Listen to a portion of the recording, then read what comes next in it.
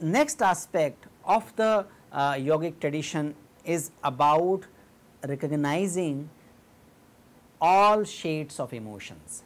So, many of you must have heard about 9 or 10 rasas.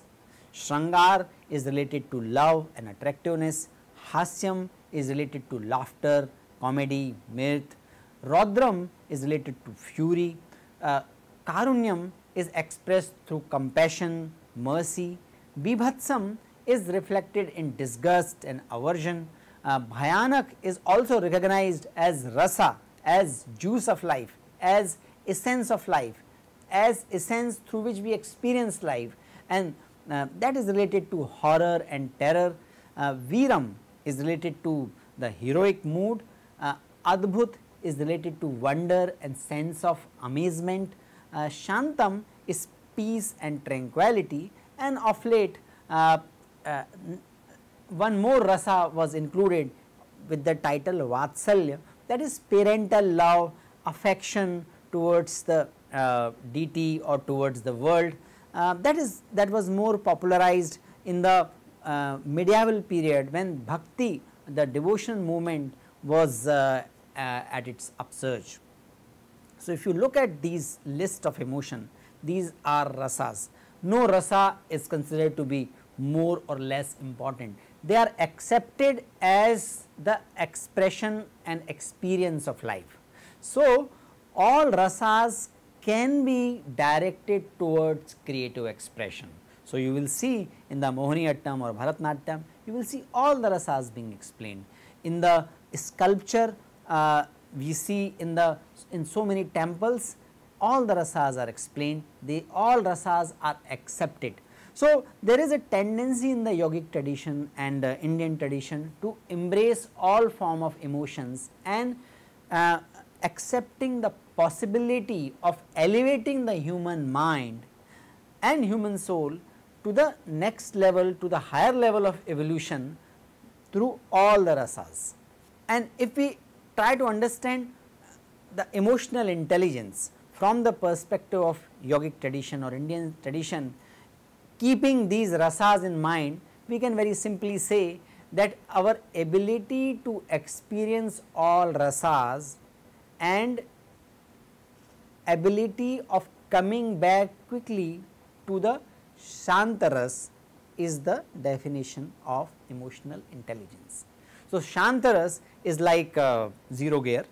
So, you, uh, you drive vehicle at higher gears one first, second, third, fourth gear and eventually it has come to halt and you halt it and bring that to the 0 gear. So, that is also uh, that analogy can be used to understand emotional intelligence from the perspective of rasa, from the perspective of yogic tradition. That is why somewhere in Bhagavad Gita it is said that samatvam yoga uchyate, balance is yoga and this is the tagline of the Yogastha club of IIT Bombay. We briefly talked about Yogastha club in the previous session uh, which organizes the uh, yoga sessions, yoga practice sessions and yoga knowledge sessions very regularly in the institute.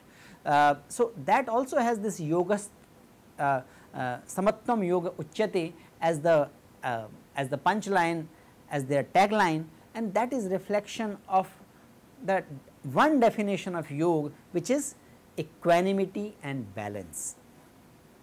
yoga Sutra very clearly articulate the positive behaviors as well. In the Bhagavad Gita, we see more elaboration of these positive behavior and positive properties of human being. So, in the Yoga Sutra, uh, positive behaviors are identified. Uh, in the in the in the particularly two sutras which are related to yamas and niyamas. Yama are ahimsa, satya, aste, brahmacharya, aparigraha. These are called yama. Let us look at the etymology of the word yama. Yama word reflects rein, the, the instrument with which uh, a charioteer controls the horses or the rope which is used to control the horses by the charioteer. It is related to restrainer. Yama is also the also another name of an entity which is responsible to maintain law and order, maintain dharma in the behavior of the different organisms and definitely behavior of the human beings. So, Dharma Raj is the one who is responsible to maintain and ensuring the rightful dharmic human behavior that is called uh, uh, Dharmaraj and that is another name of uh, Yama. Yama is also meaning universal order. So, the, it is a reflection of the custodian of the universal order. So, these are not related to uh, any context, these are to be maintained, these are to be followed in the all situation because this is these are the basis on which the nature operates. If we uh, if we deviate from these nature will have its course correction. So, what are those yamas? These are satya being truthful, ahimsa that is non-violence or not hurting, asteya that is not stealing that which is not mine, not acquiring or not getting or not picking up from the others. So, yama are satya that is truthfulness being righteous, uh, ahimsa that is non-violence.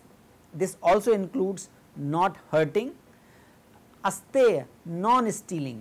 Not taking away that which does not belong to me, aparigraha not hoarding. Even if I can afford I should not accumulate that which is not required by me that is not needed for me. And brahmacharya. Brahmacharya meaning restrain on the senses and that behavior that leads to ultimate realization of Brahma. Yoga Sutra also talk about niyama.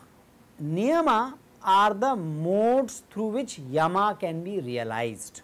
So, these are the committed engagements. You have to make extra effort to follow the niyama and niyamas are required for us to behave according to yamas. What are the niyamas? Niyamas are first is shauch, though we have to follow yama, we have to follow satya, ahimsa, asteya, apagra, brahmacharya, but human tendencies take over, we all know that. So, first niyam is shauch, cleanliness, extrinsic cleanliness as well as intrinsic cleanliness. That is first niyama because that is the basis on which we can ensure that we follow yamas. Santosh, santosh is sense of contentment. That which I have, I need to have sense how much I need to possess, how much I need to have so that it is good for me and it does not deprive others to have it. So, we can look at santosh Santosh is very much required to practice asteya and aparigraha. If I do not have asteya, if, if I do not uh, follow the name of santosh, I cannot follow the asteya and aparigraha. Third is tapas, self discipline. Why tapas is important and how it is connected to yama?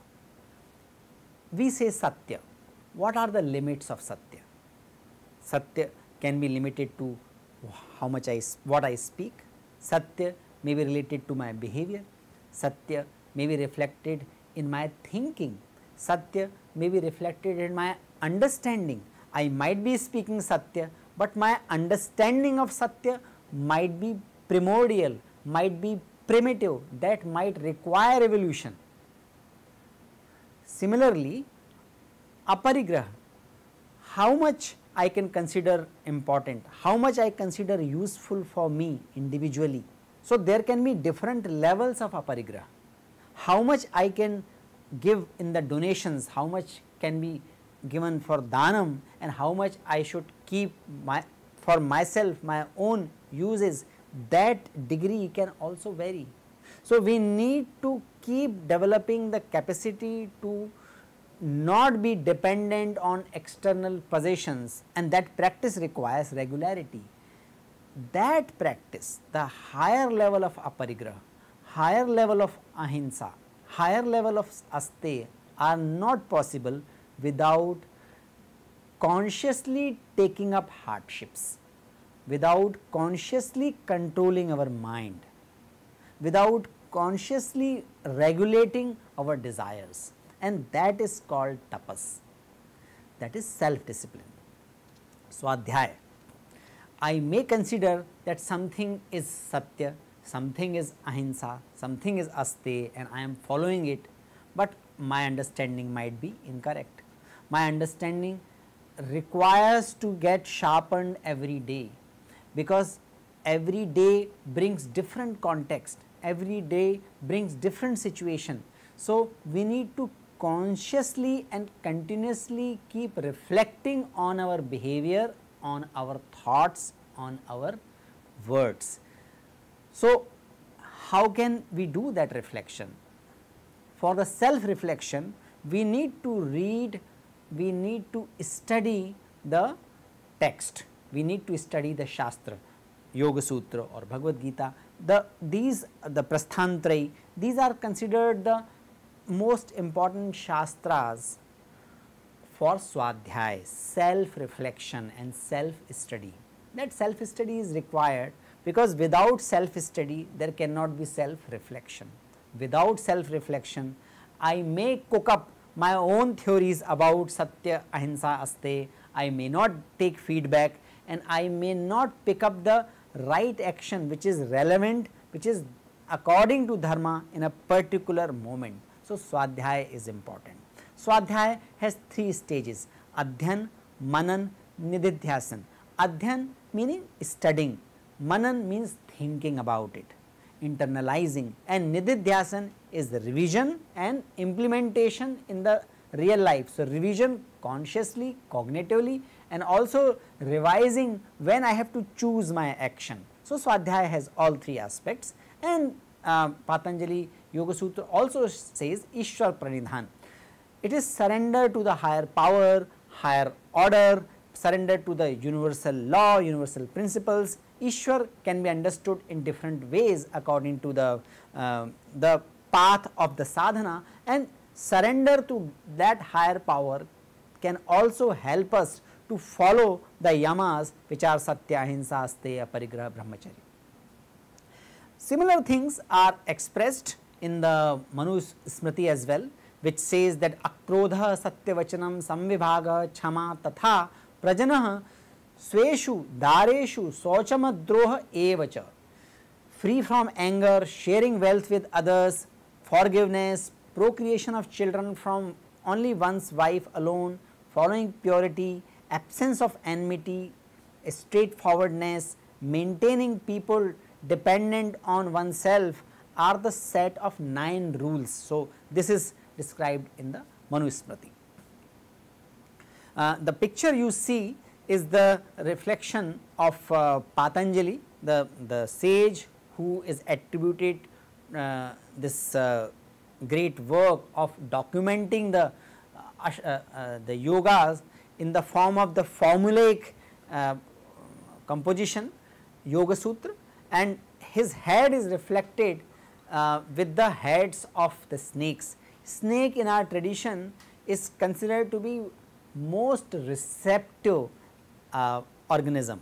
So, Patanjali is considered to have the receptivity equivalent to uh, 100 uh, snakes that is why his head is reflected in the form of the Sheshanag or, uh, or the snake which has 100 hoods.